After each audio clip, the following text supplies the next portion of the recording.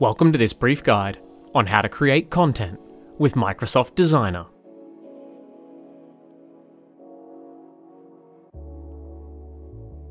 Microsoft Designer is a brand new tool from Microsoft that can help you create engaging graphical posts that you can utilize in places such as social media.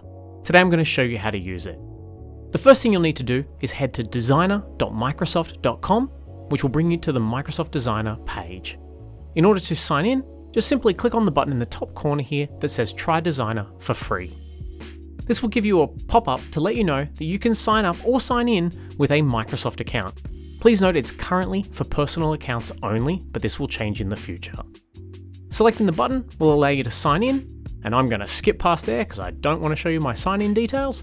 But here you can see I'm now on the Designer homepage. There's a few things to note here, but the first of which is this field in the top corner, which is our prompt field.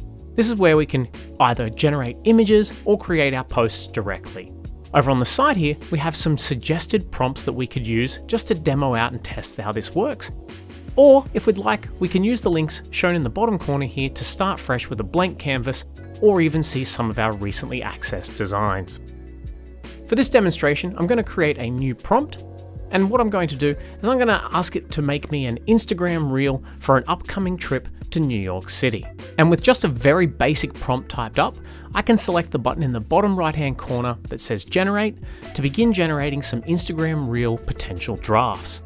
What I'll find on the right hand side is that I'll get a selection of these different potential ideas, and you'll notice that they all contain some form of motion because it's recognized that I've asked for an Instagram reel.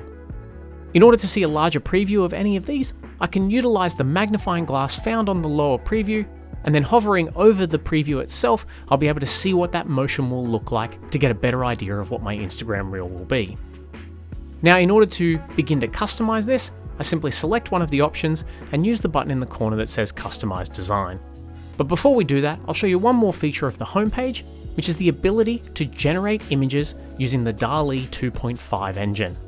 We can simply type in what sort of image we would like, in my case, I'm going to ask for a black and white manga style image of New York City, and I'll receive a couple of suggestions to help me get a better chance of receiving the image that I would like. So in this case, I have a mid-view, highly detailed image coming up. And in just a few moments, I'll have a selection of images that match my prompt that I can then simply look at previewing, or select one of these and then hitting the select button will then begin to change my drafts so I'll get some new designs that will incorporate both the prompt that I originally entered as well as the generated image that I have selected. So as we can see, I have an Instagram reel to promote an upcoming trip to New York City utilizing the generated image from DALL-E. I can still hover over any of these to see what they will look like. I think this one here with some leaves in the background looks pretty cool, so we'll touch on that one and then select to customize the design. This will bring us over to our editing workspace where we can see that our base design is ready for us to begin working on. Now, if we don't like our base design, we can click on the button in the top right hand corner that says ideas, and this will generate some new draft ideas with the same sort of prompts that we had before. So if we don't quite like it, we can simply select one of these to begin working on instead, just like design ideas in PowerPoint.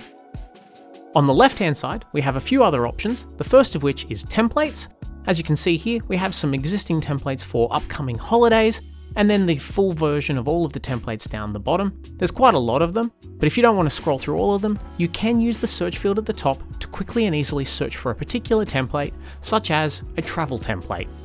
And if you want, you can simply select any of the options that are here, and what will happen is you'll see that it will be automatically applied to the existing design that you have in your workspace.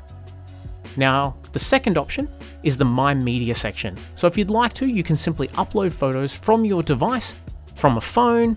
Now, if you click on the From Phone option, it will load a QR code, which will make it super easy for you to simply scan this from your mobile phone and upload an image that you've taken directly. You also have options available to you to utilize Google Drive, Google Photos, and even Dropbox if you'd prefer. And what you'll notice down the bottom is that we have any previous media that you've used, including any images that you've generated beforehand. Then we have the visuals option. This here will give you some recommended images, graphics, shapes, and more, and you can simply click on any of these to insert it to your current design, such as this great regular photo that everyone takes in Dumbo. And if I want, I can then quickly edit it by moving it around anywhere on my design. You'll notice I also have my image controls at the top here, so I can easily replace images, crop them, add some visual effects, or even change things such as the opacity. I'll just quickly delete that image out of my draft, and then we're going to head over to the next option, which is the options for text. We have the ability to utilize AI to automatically generate some captions for our draft. We also have font options, and we can choose any piece of text that's on our template already, and then we can adjust the font using one of the selections available here. We also have a great little button at the top here that says Inspire Me. Selecting the Inspire Me button will use AI to automatically suggest some different fonts that you may want to use based on your existing template. As you can see, every time I click it, it's going to change the font for me. Just like my images, I also have a control bar at the top where I can adjust things such as the font color, and then I can quickly and easily use the pop-up on the left-hand side to select a color that really pops against the black and white of my design. You'll also notice that there's an option to add your own brand colors. That's the next category that we're going to cover, which is the ability to create your very own brand kits. A brand kit is essentially a collection of fonts and colors that you can create to ensure that you have the same colors and fonts across all of your designs. You have some suggested styles down the bottom here, and selecting any of those will automatically apply it to your existing draft. And if you wanted to, you could create multiples of these so that you can quickly and easily toggle between them just by simply switching over which brand template you're using.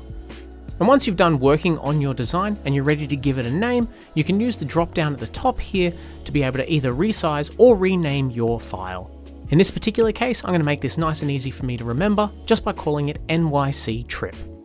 And now, while I'm here, I have a couple of other options available to me as well, such as the ability to either start a brand new design, which will bring me back to that original homepage, and I also have the option to select My Designs. Selecting My Designs will give me a shelf that will drop down where I can see any of my existing drafts that I've currently got available to me, and selecting any of those will toggle me straight over to there quick and easy. Now there's also another way that I can create a new design, and that's using the new design button found in the top right hand corner. I also have the download button, which will allow me to choose my download options. Selecting this will give me a pop-up where I can then choose the file format. So in this case, it's either PNG, JPEG or PDF, but please note if you have motion in your design, you will have GIF and MP4 files as well. Now we also have the option to make the background transparent or remove or have a watermark on the image if we would prefer. Once done, we can then choose to download the file. We can also just copy it as an image to paste it somewhere else, or we can use a link and quickly and easily send it to our phone. We also have the easy ability to draft captions using AI, and using the Try It button will give you a prompt to let you know that this is a great feature for social media managers because it can connect to pages such as Facebook page or Instagram business, and you can post to multiple social media accounts with just one click. And now we'll jump back to our editing pane and I'll show you what it would look like once you download your image. I can simply select the download button and my file will begin downloading for me. And I'll get a pop-up in the middle of my screen which will let me know that there are a few other things that I can do, such as subscribing for more tips from Designer. So if I'd like to, I can choose to sign up to a mailing list to find out when the latest features are coming to Designer. And that is how you use Microsoft Designer to quickly and easily create content with the power of AI. I hope you found this tip extremely useful and it saves you plenty of time in the future, and I'll catch you in my next video. Thanks for watching. If you'd like to see more content like this, be sure to check out the channel, and if you like what you see, don't forget to hit that subscribe button.